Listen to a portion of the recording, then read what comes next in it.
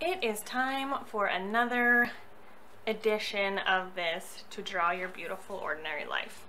So this is the page we left off on and that's actually pretty funny because uh, I actually work for a cabinet company so we I actually build design and build kitchen cabinets and stuff so that's that's cool cool and funny and also I have a hutch like this in my, or a china cabinet or whatever you call it, in my uh, dining room. So yeah, this will be fun I think. Alright, let me grab a pencil. I'm just gonna grab a random one.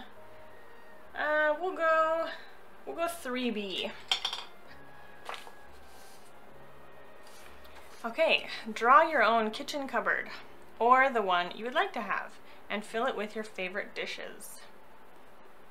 I think I'm actually going to draw the one that I have. That would be actually pretty fun.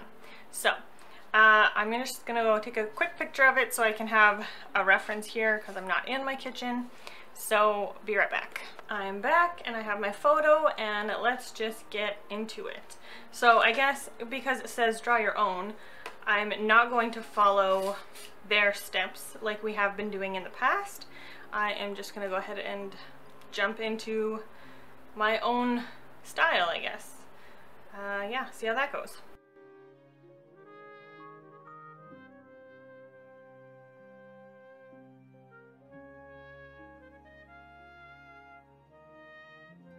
Okay, so I've got it sketched out.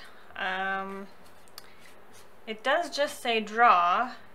I'm trying to think if if there's any way I can like really amp it up without like doing a full illustration. Um, what if I do like a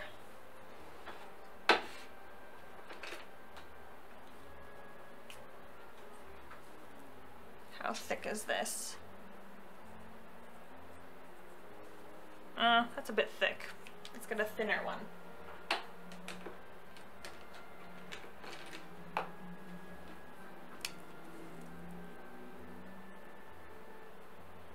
Okay, what if we did like a really sketchy uh, line work? And then after that, if it still needs something, I was thinking of maybe just doing one color. Like just adding one color to the piece. So whatever in the piece would be that color, do that.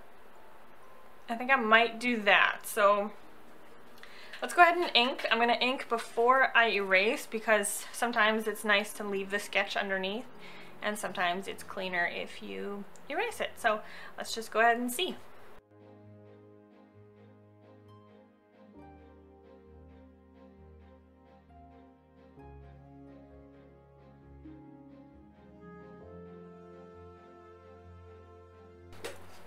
Well, I guess that's what it looks like all sketchy, and I sort of like it the way it is. I don't think I'm going to add any color, and I don't think I'm going to erase the sketch lines.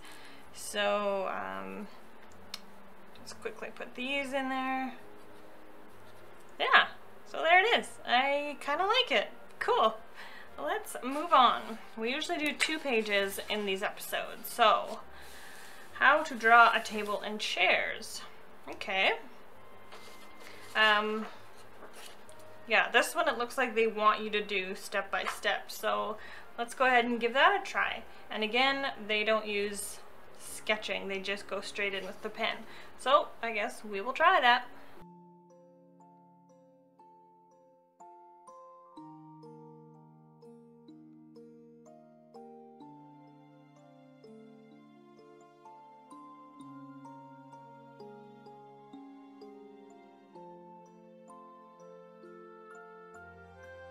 Well, that is the table, the sketched out table. Uh, I guess I could go ahead and color it with uh, pencil crayons. Uh, there's only two colors, so it's not going to be that exciting. But, let's see. Deep green, deep green. Green and green, okay. Then we'll go we'll make the chairs this one. And again, like I've said so far in every episode, I really love that they take a very loose approach to drawing. Like, you don't have to be super skilled.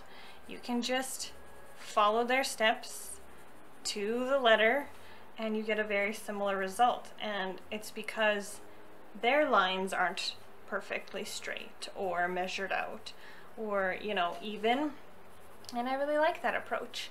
It's very, um, like, no stress, no pressure, just easy, easy, easy drawing. And it's nice.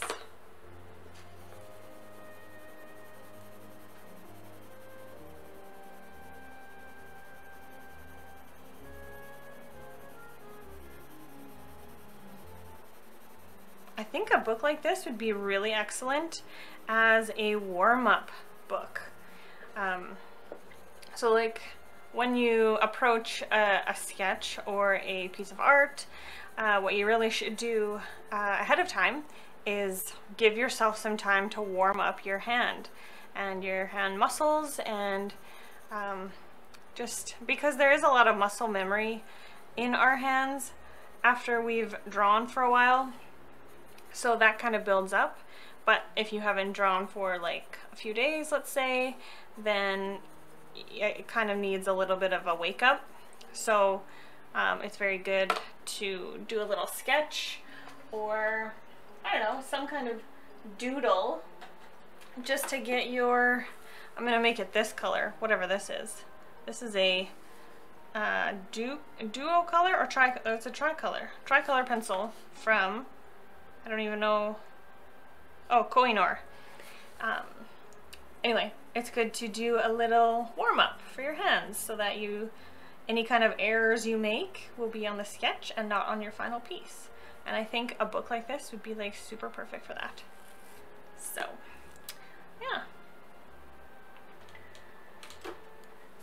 Just gonna finish up these pink flowers. Oh, I guess my camera uh, lost some of that footage again. I really need to figure that out or get a proper vlogging camera or something. But um, what I was saying was I didn't want the leaves to look as blue as this green on the table so I actually layered these two a couple of times to get more of that balanced yellow green. And then for the pot, I picked up this Tritone Kohinoor um, pencil, which is really cool. You can only really pick up on the purple, but that's fine. And then I was saying that this pink pencil that I used for the flowers, uh, I really should get rid of these because I got them with a pencil case that I bought many years ago and they're just not a very good quality. They're a hard lead and they're not very pigmented. So it's very hard to get uh, a nice color out of them. And yeah, so I guess that's what we came up with for today's um, couple pages. Uh, we got our hutch or china cabinet or whatever you want to call it. And then our table and chairs. So, thank you guys so much for watching, and I will definitely see you in the next episode of 50 Ways to Draw Your Beautiful Ordinary Life. Um, and thank you again to Chantel for this book. It's really, really cool. I'll see you guys in the next one. Bye!